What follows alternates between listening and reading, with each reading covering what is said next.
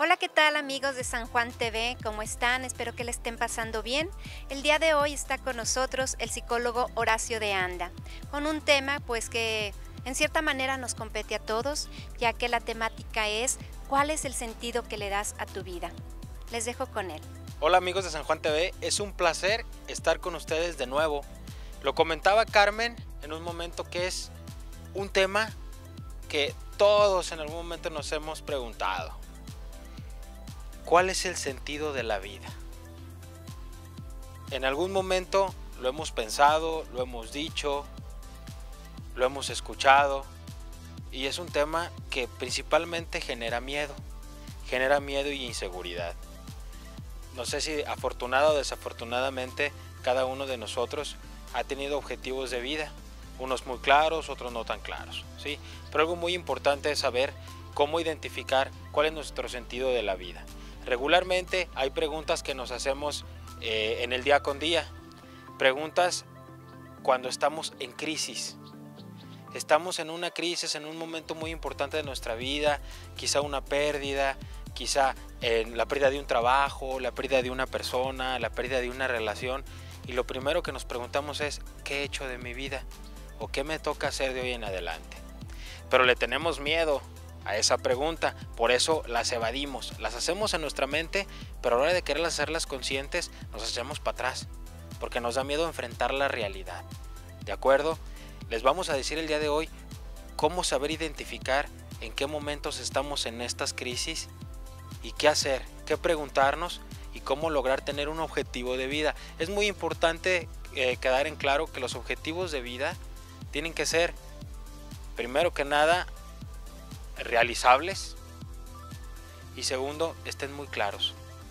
Pasos cortos pero seguros. Muy bien, atención. ¿Cómo poder identificar que nos encontramos en un estado en el cual no sé cuál es el sentido de mi vida? Empezamos. Primero, cuando me empiezo a preguntar si este trabajo ese es el que en realidad me gusta. Son señales muy sutiles, pero no hay que dejar pasar. Si en realidad quiero estar en esta relación, cuando empieza a haber algún problema o no estamos cómodos con lo que estamos haciendo.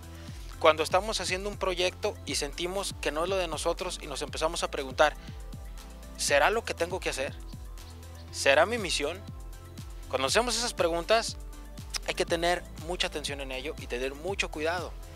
Así es como podemos identificar cuando no tenemos sentido de la vida, cuando empezamos a ver que quizá donde estamos no es el mejor lugar, como no estamos a gusto, hay muchos problemas, hay muchos detalles, no tengo claridad con mis objetivos. Es por eso que puntualizamos que la claridad en los objetivos y los análisis del día con día son bien importantes. ¿Cómo hacerlos? Empieza a identificar, puede ser por escrito, puede ser en alguna bitácora que tú tengas. Con la ayuda de, la tecnología podemos utilizar la tecnología escribiendo algún mensaje, algo que nos llame la atención y sobre eso trabajar y plantear un objetivo muy claro para identificar que estamos haciendo las cosas bien eso que hacemos nos tiene que dar una gran satisfacción, nos tiene que dar un modo de vivir más estable, una mejor calidad de vida. Para saber si el rumbo de la vida que estoy tomando es el más correcto, debo de estar, una palabra muy, muy amplia, feliz, contento, agradecido. Si no estoy feliz, contento y agradecido con lo que estoy haciendo, hay que tener mucho cuidado, porque quizá nuestro sentido de vida no ha sido el que queremos y el que buscamos. No tengamos miedo de arrepentirnos de tomar decisiones. Eso es lo más importante.